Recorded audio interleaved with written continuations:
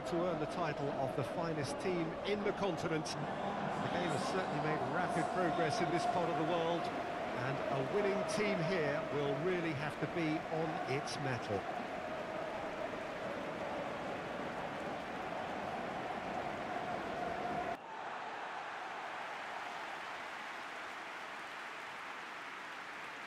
Day one, and everybody eager to get off to a good start. Yes, and that's very apparent, Peter.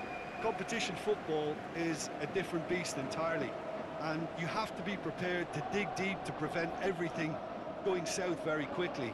So this could be a, a tentative standoff in weighing each other up. I hope we'll see more probing than possession.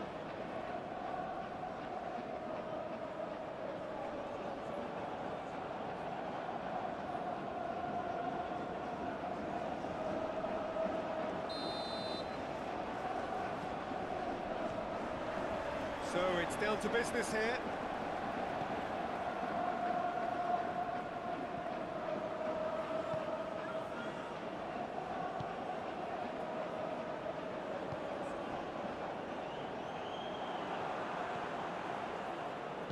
Moved forward and quickly so. And they can counter here.